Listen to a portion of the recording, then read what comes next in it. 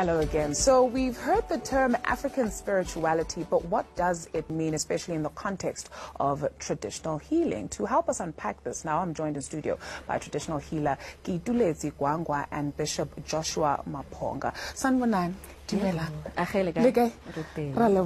Um, okay, so Baba, when we talk about African spirituality, what are we talking about? Firstly, maybe we need to be very clear that we don't allow our, our spirituality, our way of existence to be defined by Eurocentric terminology, where you're basically looking at African culture through white glasses. African spirituality must not be looked in in the same frame of religion, which is schizophrenic by nature where you go to church on a Sunday, on a Saturday, you take off your clothes, and then you live your life as you please in the course of the week. Spirituality has to do with lifestyle combination of our, not just culture and celebration, putting on a few clothes, and one day per year in September, is it October, where it's Africa Month, Africa Day, then people try to buy some little white cloth black material, and then they walk around and say, we are Africans. Mm.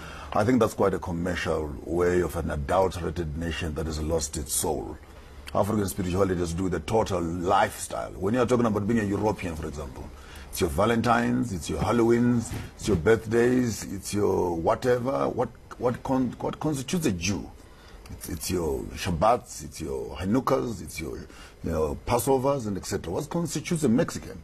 But all of a sudden, come to Africans, we're the only group of people on the face of the continent whose lifestyle must be must be determined by our colonizers, and our independence seemed to give us a small little leave from ourselves to become like the other, and once in a while then they give us a holiday of when to celebrate ourselves. Mm. And I think that's quite um, uh, an abusive way of looking at how democratization, industrialization, communism, capitalism, neo-colonialism, neo-imperialism, name all the isms you can mention, how they've come actually to rape and force the African child to become that which is not like himself.